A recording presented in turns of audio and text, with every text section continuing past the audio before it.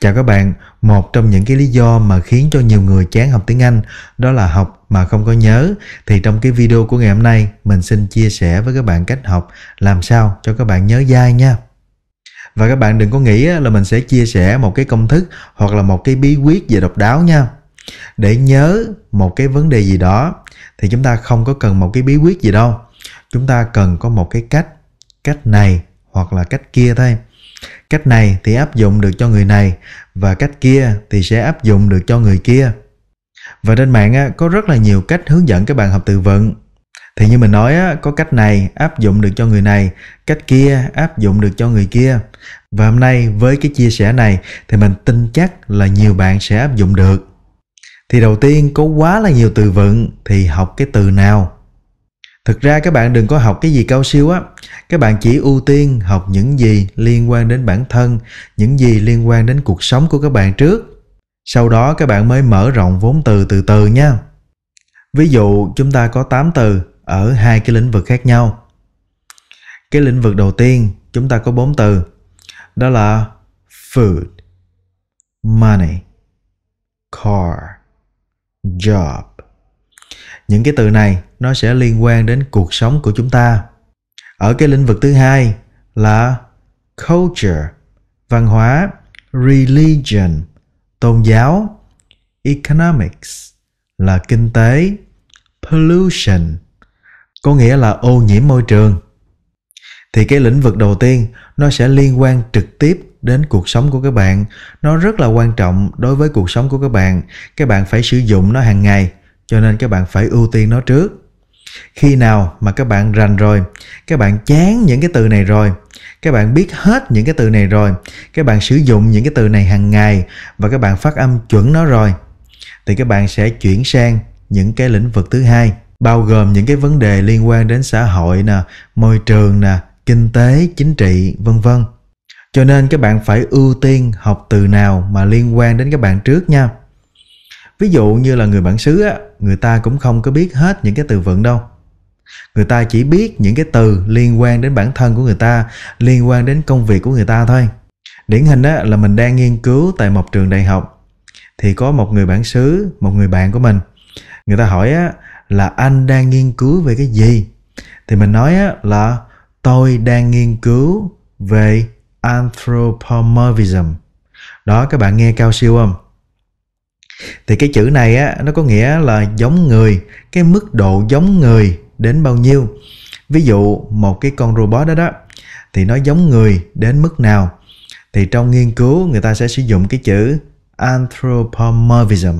Đó, cái này là mình ví dụ thôi, mình không có cần các bạn học cái chữ này nha.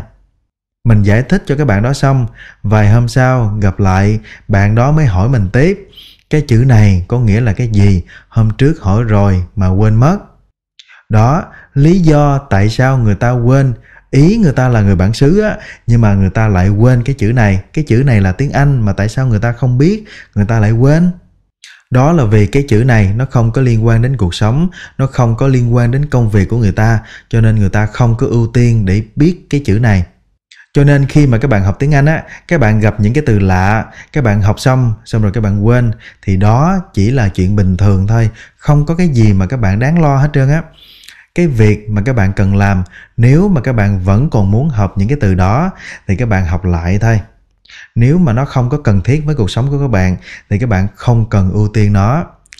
Khi nào mà các bạn rành những cái từ liên quan đến cuộc sống của các bạn rồi, thì các bạn mới ưu tiên mở rộng vốn từ vựng, những cái từ về kinh tế, chính trị, xã hội, những cái từ ở những cái lĩnh vực mà các bạn chưa có từng học qua, thì các bạn mới cần biết nó.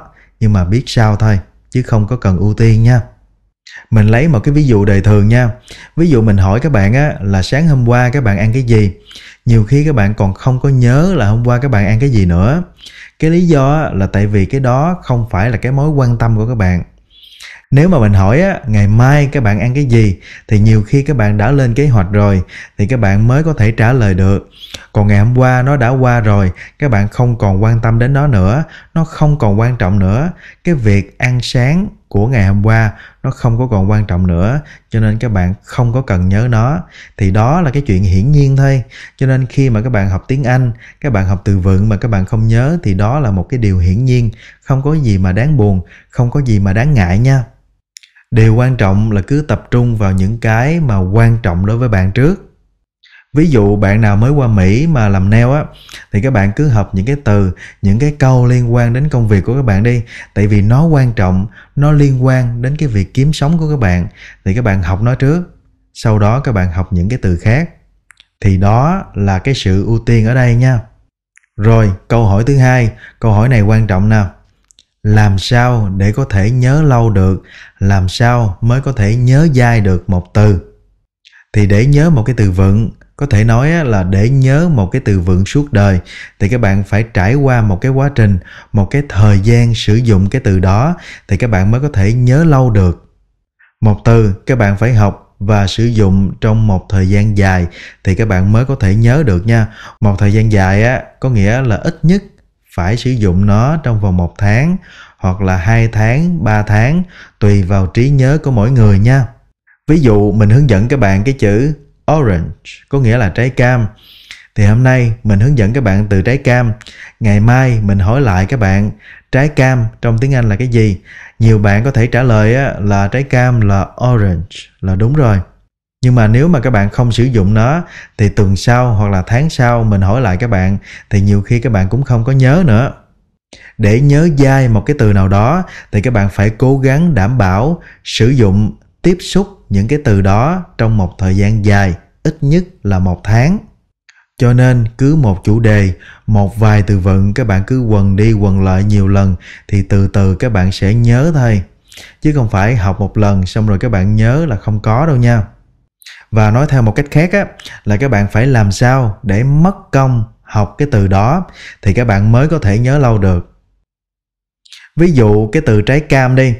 Đó, thay vì các bạn nhìn vào cái màn hình, orange, hai chấm, trái cam, đó, thì nhìn vào cái màn hình như vậy thì các bạn học được đó, nhưng mà các bạn không có tốn quá nhiều công sức để các bạn học cái từ đó. Thì tốn công sức là như thế nào? Bây giờ mình cho ví dụ nha rồi, các bạn nhìn vào cái màn hình. Các bạn đọc orange, hai chấm, trái cam. Rồi, cái đó là quá dễ. Bây giờ mình sẽ đài đọa các bạn nha. Rồi, các bạn hãy lên google. Các bạn đánh cái chữ orange để tìm kiếm cái hình trái cam. Rồi, sau đó các bạn chạy ra nhà in, hoặc là bạn nào có cái máy in á, các bạn in ra.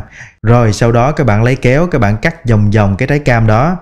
Các bạn dán vào cái cuốn tập học của các bạn đó xong rồi dưới cái hình trái cam đó đó các bạn mới viết vào orange hai chấm trái cam đó các bạn tự hành mình thì các bạn sẽ nhớ dai thôi rồi bây giờ mình cho các bạn thêm một cái ví dụ nữa nha bây giờ các bạn đi siêu thị thay vì các bạn chạy thẳng vào siêu thị xong rồi các bạn sử dụng trí nhớ của mình nhớ mua cái gì thì các bạn cứ chạy lại cái quầy đó các bạn mua thì đó là một cách cái cách đó là cách dễ bây giờ mình sẽ đài đọa các bạn nè bây giờ, các bạn cần mua cái gì, các bạn sẽ liệt kê ra, ghi vào giấy. Nhưng mà không ghi bằng tiếng việt, các bạn phải ghi bằng tiếng anh nha.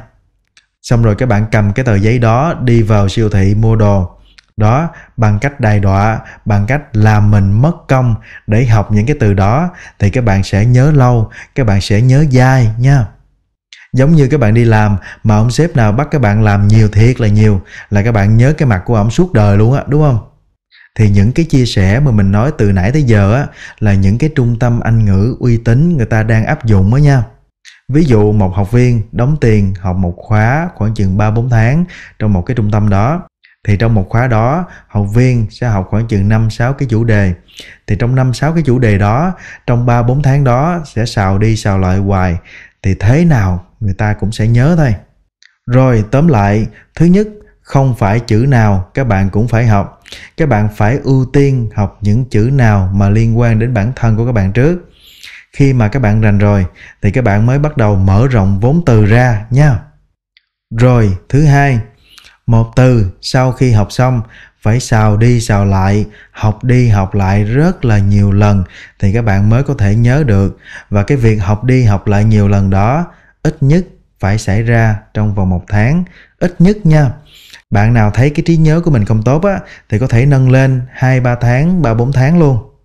Đó là lý do mà mình thường xuyên nhắc các bạn học đi học lại những cái bài cũ, ôn đi ôn lại những cái bài cũ để các bạn có thể nhớ dai và phản xạ một cách lưu loát, nhanh chóng. Nhiều bạn nói á, là học rồi mà học lại thì tốn thời gian quá.